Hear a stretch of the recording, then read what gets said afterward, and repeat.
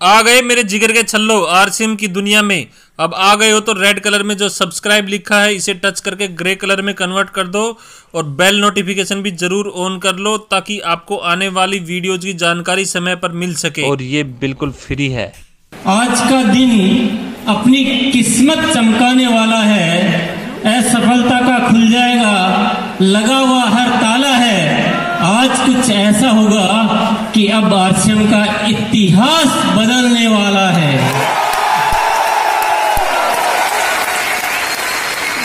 एक नई क्रांति का बिगुल बजाने का आज कुछ ऐलान करने वाले हैं।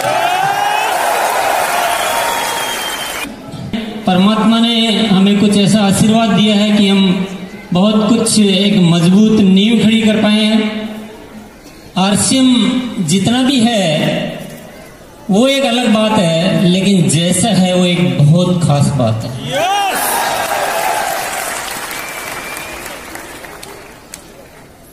देखिए, दुनिया में जो झूठ है, वो बहुत जल्दी चलता है। कमज़ोर चीज़ें कभी कभी बहुत जल्दी चल जाया करती है। बहुत लोग उसको केच कर लेते हैं, और जो सत्य होता है, वो थोड़ा धीरे धीरे चलता है। कभी कभी तो सत्य चलता ही नहीं अच्छी बातें लोगों को समझ में आती नहीं है। पर आप लोगों का लाख लाख शुक्रिया अदा करना चाहता हूँ कि आपने आरसीएम की अच्छी बातों को भी दिल से स्वीकार किया और जिस तरह से आरसीएम आज खड़ा हुआ है, जिस मज़बूत नींव के सहारे आज जो खड़ा है, ऊपर कितना है वो बहुत बड़ी बात नहीं है, नीचे कितना है ये बहुत बड़ी बात है।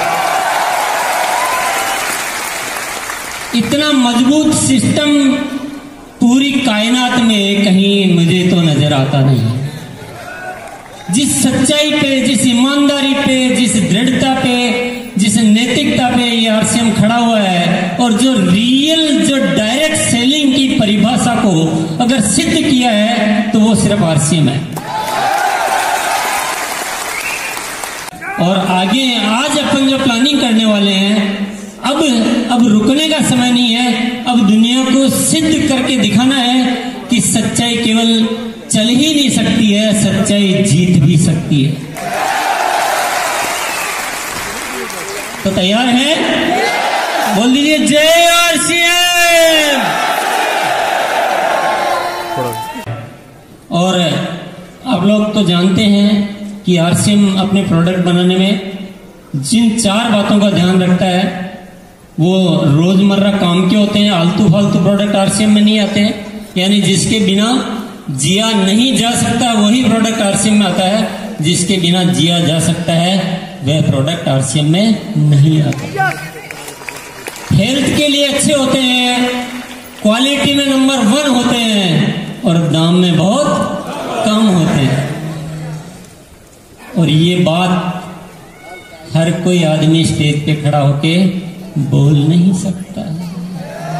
इसको बोलने के लिए पसीने बहाने पड़ते हैं, मेहनत करनी पड़ती है, सोच को ज़िंदा रखना पड़ता है और दिल में भावनाएँ, जज्बात, प्रेम, प्यार रखना पड़ता है। ये लालची लोगों का काम नहीं है, ये दिल वाले लोगों का काम है।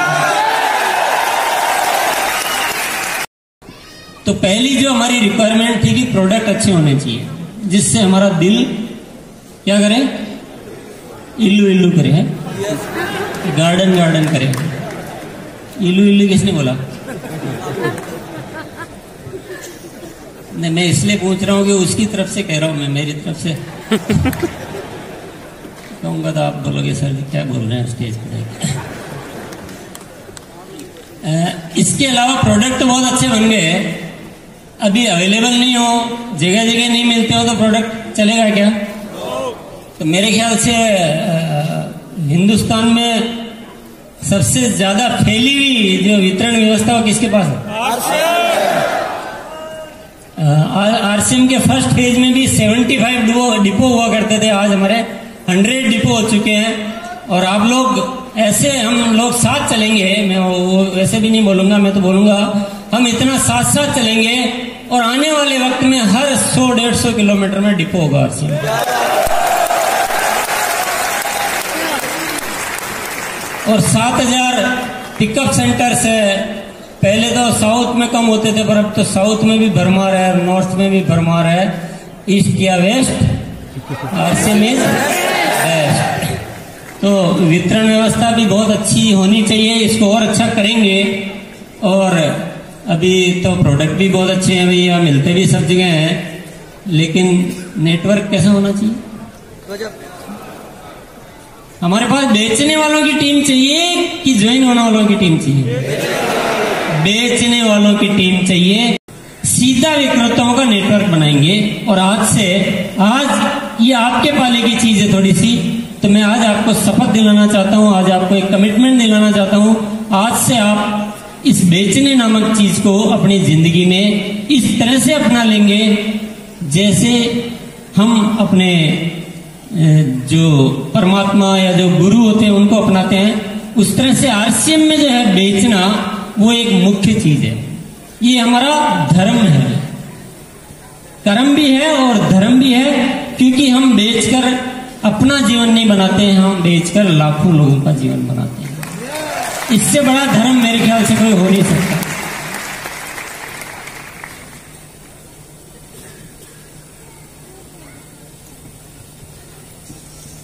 और बेचने के लिए आजकल जो एक नारा डीसीजी ने दिया है, क्या दिया है? अपनी दुकान अपनों के लिए। इनको बढ़ाना पड़ेगा? बोलो, जय आर सी मैं देर बोल रहा हूँ तो भी आपको तेज़ी बोलना है। जय आर सी एम। अपनी दुकान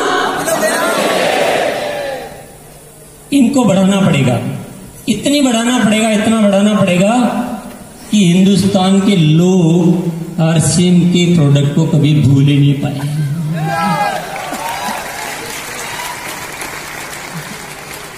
वो एक गाना है ना? अजी रूट कर कहा जाएगा? जहाँ जाएगा, आरसीएम ही पाइएगा। अजी बचे करे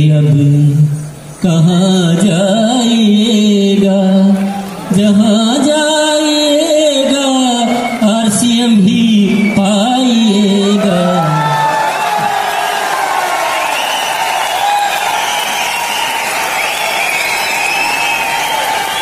बहुत सिंपल चीज़ें हैं। एक बार फिर। कुछ ऐसा मामला नहीं है जो हमसे नहीं हो सकता है। सब मामला ऐसा है जो हमसे हो सकता है और हम करके रहेंगे।